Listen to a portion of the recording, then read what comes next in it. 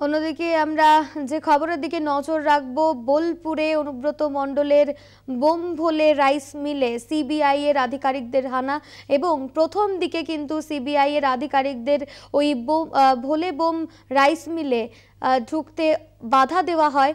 তারপরে ভোলেবম রাইস মিলে প্রবেশ করেন সিবিআই এর তদন্তকারী অফিসারেরা।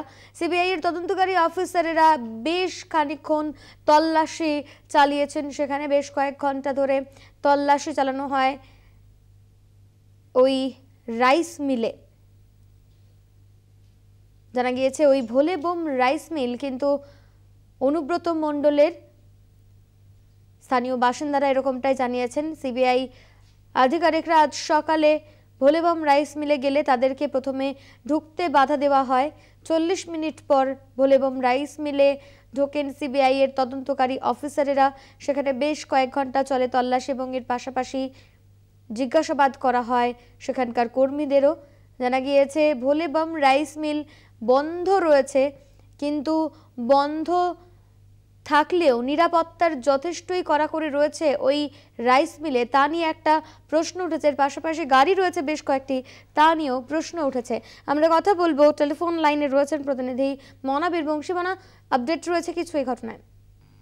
দেখো আপডেট রয়েছে বলতে তুমি জানো যে সকালে বৃষ্টি উপেক্ষা করে সিবিআই, কেন্দ্রীয় যে সমস্ত তদন্তকারী অফিসার, তারা কিন্তু বোলপুরের যে কালিকাপুর যে বোল এবং রাইস মিল সেখানে কিন্তু তারা চলে আসেন। এবং আমরা দেখি যে সকাল সাড়ে নটা থেকে একেবারে বলা যেতে পারে যে বিকাল চারটে পর্যন্ত প্রায় সাড়ে ছ ঘণ্টার ওপর তারা কিন্তু সেখানে কিন্তু তল্লাশ অভিযান চালায়। এবং দেখো যেটা জানতে পারছি যে এই যে মিল, বোল এবং রাইস মিল এই মিল মূলত অনুব্রত মন্ডলের যে মেয়ে সুকন্যা মন্ডল এবং তার স্ত্রী প্রয়াত ছবি মন্ডলের নামেই কিন্তু মূলত রয়েছে। এবং তোমাকে যেটা সকাল থেকে বলছিলাম, যেটা হচ্ছে যে দু হাজার তেরো সালে কিন্তু এই মিলের কিন্তু হস্তান্তর হয়।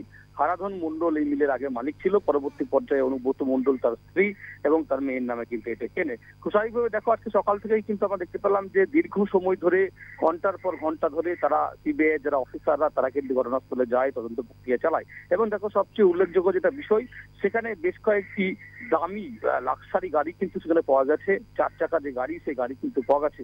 এবং সেই গাড়ি কিন্তু দেখা যাচ্ছে যে বেশ কয়েকটা গাড়ি, যে গাড়ির নাম্বারগুলো উঠে আসছে, তার মধ্যে অনুব্রত মন্ডলের সকলেই কিন্তু ঘনিষ্ঠ। অনুব্রত মন্ডলকেও দেখা গেছে এক্সইউভি ফাইভ হান্ড্রেড যে গাড়ি, একটা ব্ল্যাক কালো কালারের যে গাড়ি, সেই গাড়িতে অনুব্রত মন্ডলকেও দেখা যাচ্ছে যে নিজেও তিনি কিন্তু সেই গাড়িটা মাঝের মধ্যে ব্যবহার করতেন এছাড়াও তার সহকর্মীরা রয়েছেন নিরাপত্তা কর্মীরা রয়েছেন, তারা কিন্তু ব্যবহার করতেন। এছাড়াও আরও বেশ কিছু গাড়ি রয়েছে যারা গাড়ির মধ্যে আমরা একাধিক নাম উঠে আসছে।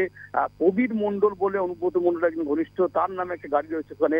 এবং তুমি জানো যে অর্ক দত্ত, যে অর্ক দত্তকে প্রাইমারি নিয়ে আদালত কিন্তু রেখে পেরেছিল অনুব্রত মন্ডলের যে পিএ সেই অর্ক দত্ত, তার নামে একটি গাড়ি হুট খোলা একটা গাড়ি রয়েছে, জিপসি গাড়ি, যে গাড়িটায় বেশিরভাগ সময় নির্বাচনী প্রক্রিয়ায় অনুব্রত মণ্ডল কিন্তু সেই গাড়ি নিয়ে কিন্তু নির্বাচনী প্রচার তিনি করতেন। অর্থাৎ এই গাড়িগুলোকে যেমন অবশ্যই সিবিআই তাদের নজরে রয়েছে এবং অবশ্যই তুমি জানো যে যে ঘটনা নিয়ে এখন এই মুহূর্তে দাঁড়িয়ে তোলপাড়, যে বিশেষ করে বলা যেতে পারে যে গরু পাচার কাণ্ড, তুমি জানো যে অনুব্রত মণ্ডল তাই নদিন হয়ে গেল হচ্ছে এখন এই মুহূর্তে দাঁড়িয়ে সিবিআই হেফাজতে রয়েছে এবং তুমি জানো যে বারবার করে যে নামটি উঠে আসছে যে সাইগার হোসেন, যে সাইগার হোসেনের হাত ধরে একেবারে বলা যেতে পারে যে তোমার এনামুল হক এবং লতিফ তার কাছ থেকে বিপুল পরিমাণে টাকা সাইগারের হাত ধরে অনুব্রত মন্ডলের কাছে আসতো।